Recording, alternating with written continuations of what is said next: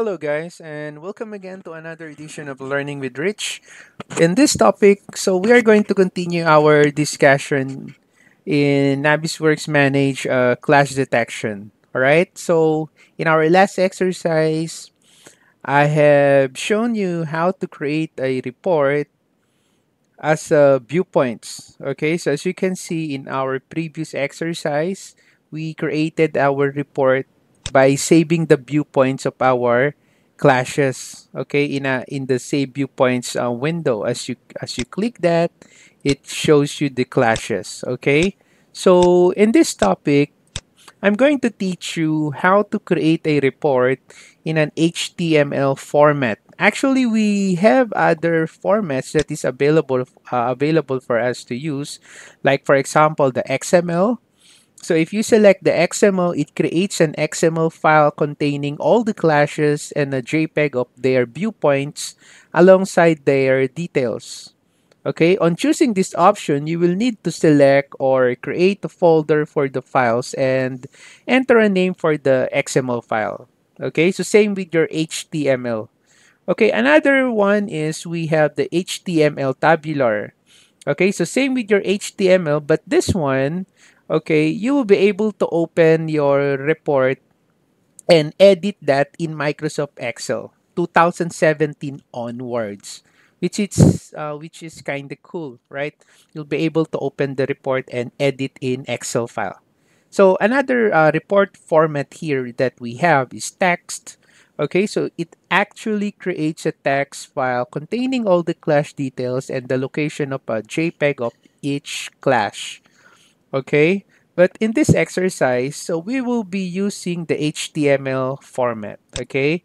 So I just select uh, select the HTML okay? And then from here you can select the uh, contents that you want to appear to your clash report.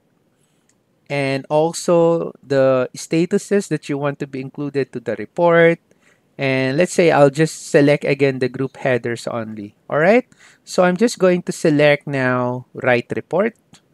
So I click this one and then I'm just going to override this one because previously I already created, but I'm just going to overwrite this. And as you can see, the file there is HTML. So I'm just going to save this, just override it. Okay, I'm just going to close this one.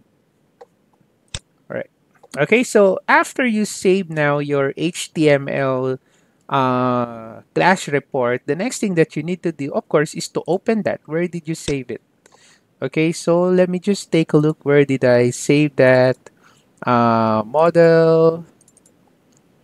Okay. Uh-huh, where are you? Okay, this one. So let me just go inside the exercise files, Navisworks.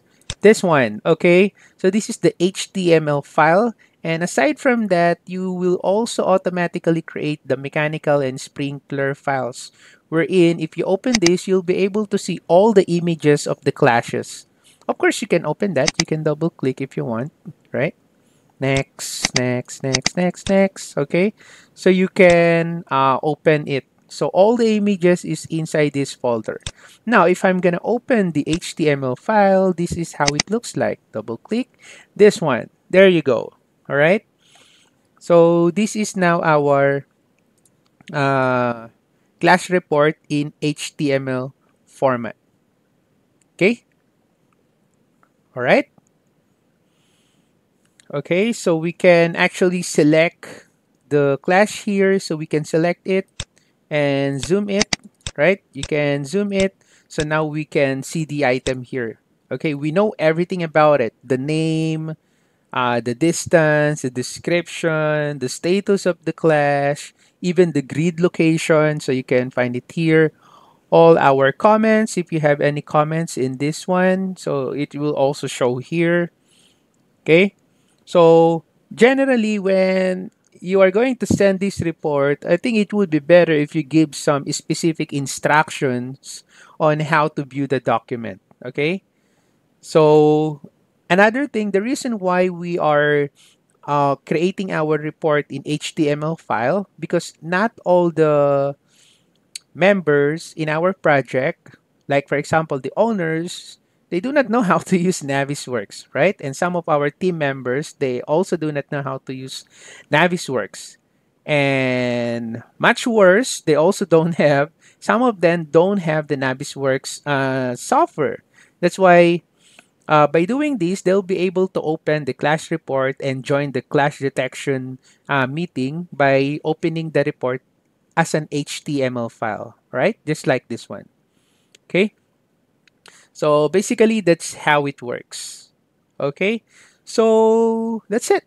This is the last topic for our clash detection. So what I want you to do, I want you to explore more the clash uh, detection tool, familiarize yourself, and if you have any comments or questions, you just uh, put it on the comment section below of this video and I'll get back to you as soon as I can. All right? So hope this has been helpful to you guys. And once again, this is Rich. Have a nice day.